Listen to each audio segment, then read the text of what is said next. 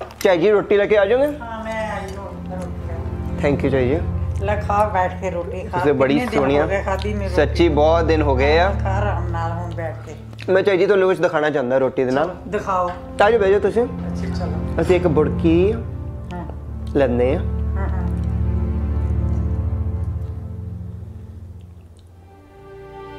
ਹਾਂ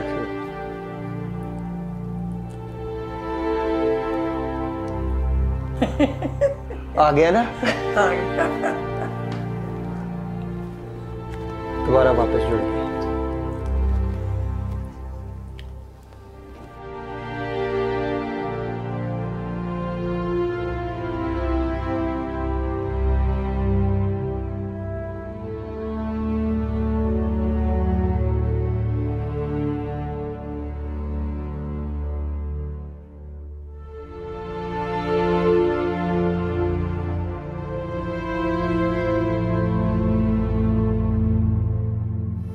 ਰਮਨ ਕਦੀ ਨਹੀਂ ਤੂੰ ਸਿੱਧਾ ਕੰਮ ਕੀਤਾ ਕੋਈ ਸਾਰੇ ਪੁੱਠੇ ਕੰਮ ਕਰਦਾ ਆ